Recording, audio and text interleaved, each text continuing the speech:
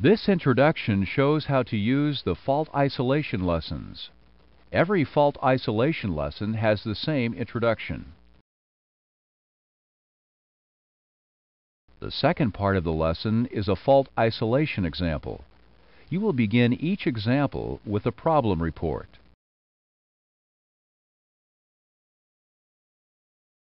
You will see the report here during the fault isolation examples.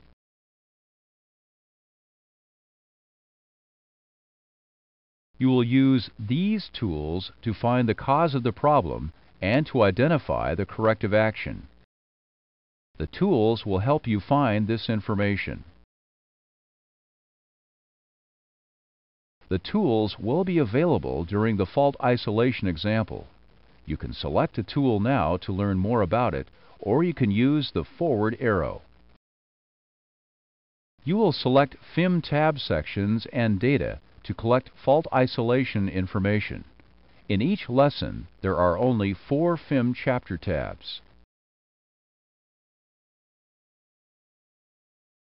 You use MAT selections to find fault isolation information.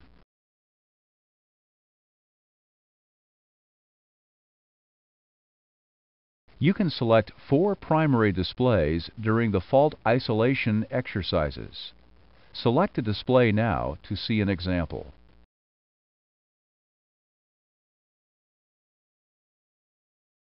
Look at the primary flight display to find fault flags.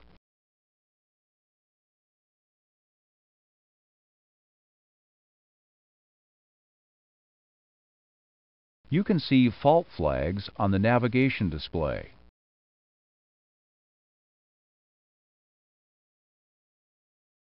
You can look at the EICAS display to see EICAS indications and messages. In the practice, you can use the Cancel Recall switch on the Display Select panel to page through EICAS messages.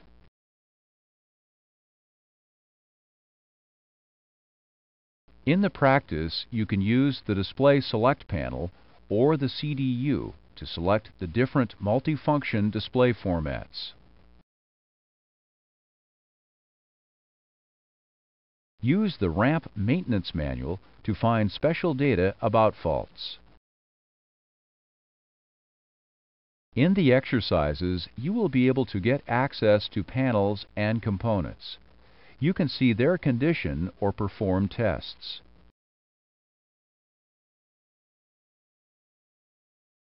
You will copy information from the tools into one of the sections of a notebook.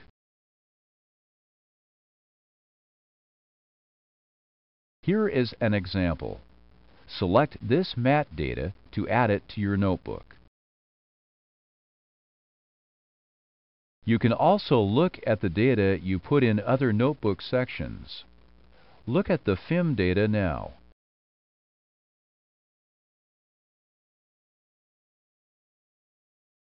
Select the FIM data section.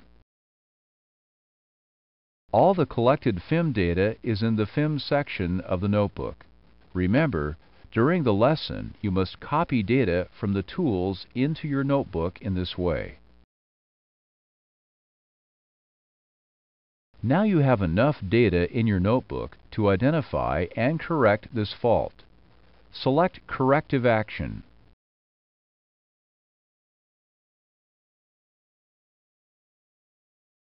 Now select the correct maintenance procedure.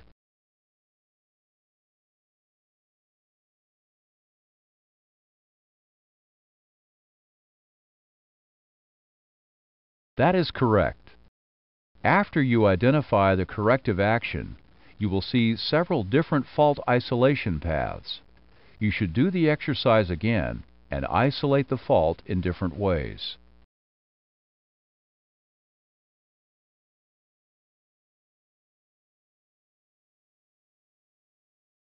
The flight crew reports that the center CDU does not operate. Select a tool to start the fault isolation.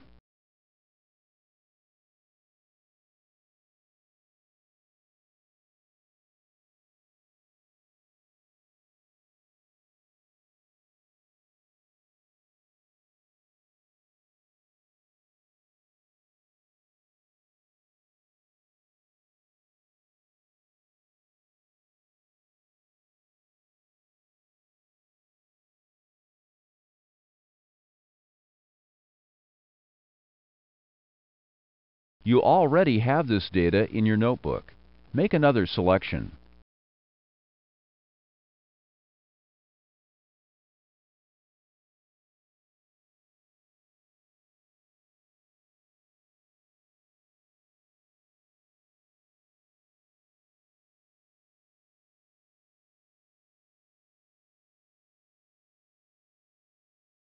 You already have this data in your notebook.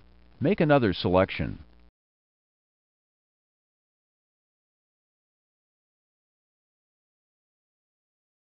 Select the procedure that corrects the fault. All right, you used the fault isolation tools to identify the fault and the corrective action. When you have isolated and corrected the fault, make sure that the fault symptoms are no longer active. Use the FIM to return the airplane to operating condition. In this practice, you saw that the center CDU failed. Remember, there may be several fault isolation paths for any problem. You should also try other fault isolation paths in this practice.